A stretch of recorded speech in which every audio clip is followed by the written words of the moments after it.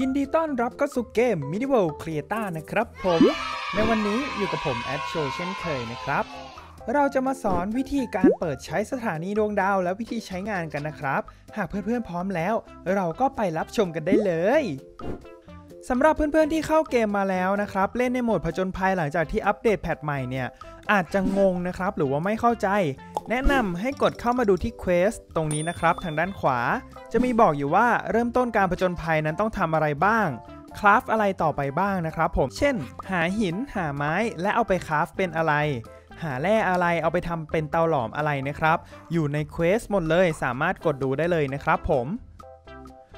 และเมื่อเราทำไปเรื่อยๆนะครับ จะมี quest หนึ่งเนี่ย บอกว่าให้เราตามหาชิปอัจฉริยะ อยู่ที่เกาะลอยฟ้า เพื่อนๆหลายคนก็งงกับสิ่งนี้นะครับ พอไปที่เกาะลอยฟ้าแล้วทำไมไม่เห็นเจอชิปอัจฉริยะเลย วันนี้เราจะมาสอนกันนะครับ ว่าทำยังไงเราถึงจะเจอชิปอัจฉริยะ และตามเควสนะครับ เมื่อเราได้ชิปอัจฉริยะแล้ว เราจะสามารถใช้สถานีดวงดาวได้ และสามารถไปยังดาวอื่นๆได้ด้วยนะครับ พอเราไปดาวอื่นๆแล้วนะครับ ก็ไปกำจัดบอสตามดาวต่างๆ และเอากุญแจเนี่ยมาอัญเชิญบอสแห่งความว่างเปล่าได้นะครับ หากเราพร้อมแล้วก็ไปลุยกันเลย ให้เราตามหาไบโอมที่มีเกาะลอยฟ้าก่อนนะครับ จากนั้นเนี่ยให้ทำการต่อบล็อกขึ้นไปหรือว่าว่ายน้ำขึ้นไปนะครับ เพราะว่าบางเกาะลอยฟ้านั้นจะมีน้ำไหลลงมาด้วยนะครับ แต่ของผมขอเลือกเป็นต่อบล็อกขึ้นไปนะครับ เพราะว่ามันเร็วกว่านั่นเอง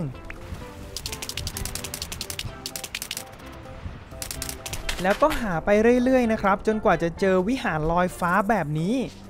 อาจจะหายากนิดนึงนะครับ ในวิหารก็จะมีกล่องด้วยนะครับ ผมให้ทำการเปิดและเก็บของมาให้หมดเลย ของฟรีใครๆก็ชอบนะครับ และนี่นะครับคือ NPC เกาะลอยฟ้า เขานะครับจะทำการขายของให้เรา เราก็สามารถทำการสุ่มของได้เลยนะครับ เพราะว่าเขามีชิปอัจฉริยะขายอยู่นั่นเอง และผมสุ่มมาเจอแกนพลังงานนะครับ อันนี้สำคัญเหมือนกัน หากเจอก็ซื้อมาได้เลยนะครับ และเราก็สุ่มไปเรื่อยๆ จนกว่าจะเจอชิปอัจฉริยะนะครับ ผมนี่นะครับเราก็เจอแล้วเป็นชิ้นส่วนนะครับ ที่จะนำไปคราฟเป็นอัปเกรดส่วน A-Type นะครับ เอาไว้สำหรับเปิดใช้สถานีดวงดาวนั่นเอง และเราก็นำไปคราฟต่อนะครับ ใช้หินมาลาไคต์1อัน ไทเทเนียม 4 อัน และไคยาไนท์1อันนะครับ วัตถุดิบพวกนี้สามารถหาได้จากใต้ดินเลยนะครับผม เท่านี้เราก็จะได้เป็นอัปเกรดส่วน A-Type แล้วนะครับ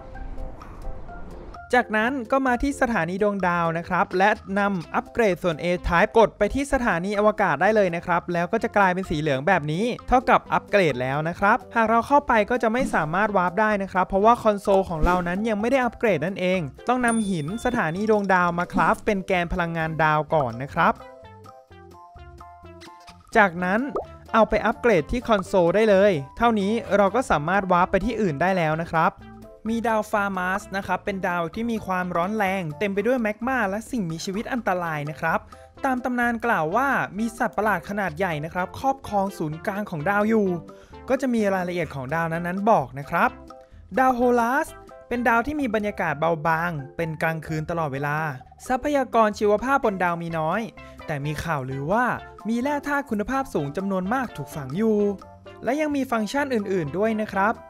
สถานะคอนโซลปัจจุบันเปิดใช้งานจำนวนของ teleport เชื่อมต่ออยู่ในขณะนี้คือ 1 เราสามารถเผยข้อมูลตำแหน่งของสถานีดวงดาวได้ด้วยนะครับ นอกจากดาวดวงอื่นแล้วเราสามารถวาร์ปในดาวมิลัสนะครับ หรือว่าดาวโลกปกติที่เราอยู่นั่นเอง เมื่อกดแล้วนะครับจะมีให้เลือกปลายทางของ teleport นี่นะครับเราก็วาร์ปมาอีกจุดหนึ่งของสถานีดวงดาวได้แล้วนะครับ สามารถเปิดหลายสถานีและวาร์ปไปได้หลายสถานที่ หรือว่าหลาย ๆ biome นั่นเองนะครับ เช่น ไปเจอ biome หิมะก็ทำจุดวาร์ปไว้ แล้วก็วาร์ปไปวาร์ปกลับได้นะครับ และเราก็กลับไปที่สถานีดวงดาวที่ถูกอัปเกรดนะครับโอเค เมื่อพร้อมแล้วเราก็ไปดาวฟาร์มัสกันเลยวาร์ปไปดาวฟาร์มัสนะครับ ใช้เวลา 10 วิ และนี่นะครับ ตอนนี้เราก็ถึงดาวฟาร์มัสกันแล้ว สภาพแวดล้อมก็คือไม่มีต้นไม้ใบหญ้านะครับ มีแต่หินนะครับแล้วเมฆก็เป็นสีแดง มีสิ่งมีชีวิตอันตรายเต็มไปหมดเลยนะครับ และเมื่อเราอยู่ที่ดาวฟาร์มัสนะครับ เราจะติดสถานะการเผาไหม้ด้วย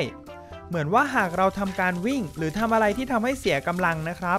จะทำให้เสียกำลังไวขึ้น และฟื้นฟูช้าลงนะครับ ในดาวฟาร์มัสนะครับจะมีอะไรบ้างเพื่อนๆก็ลองมาสำรวจกันนะครับ และหากเรากดเปิดแผนที่นะครับ ก็จะมีดาบไฟด้วย มันคืออะไรไปสำรวจกันได้เลยสำหรับใครที่ไม่เจอดาบไฟนะครับ ต้องทำการสร้างแผนที่ใหม่ เพราะว่ามันเป็นบั๊กนะครับ แต่ว่าผู้พัฒนาเนี่ยทำการแก้ไขแล้ว ให้ทำการอัปเดตแพทจากนั้นสร้างแผนที่ใหม่นะครับ ก็จะเจอดาบไฟทันที เราไปดาวต่อไปกันเลยนะครับ ก็กลับไปที่สถานีดวงดาว จากนั้นเลือกดาวโฮลัสนะครับ ต้องใช้เวลา 10 วิในการเคลื่อนย้าย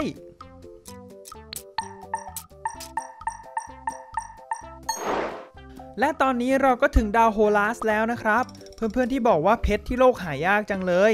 แนะนำมาที่ดาวโฮลัสนะครับ แล้วจะได้กลายเป็นเศรษฐีในพริบตา มีเพชรเยอะมากๆเลยที่นี่ ส่วนดาวโฮลัสนั้นจะมีอะไรอีกก็มาสำรวจกันได้เลยนะครับ จบไปแล้วนะครับสำหรับสอนวิธีใช้สถานีดวงดาว อยากให้แอดโชว์ทำคลิปอะไรต่อไป คอมเมนต์บอกได้เลยนะครับ หากไม่อยากพลาดคลิปดีๆแบบนี้ อย่าลืมกดไลค์ Subscribe นะครับผมสำหรับวันนี้ขอตัวลาไปก่อน สวัสดีครับ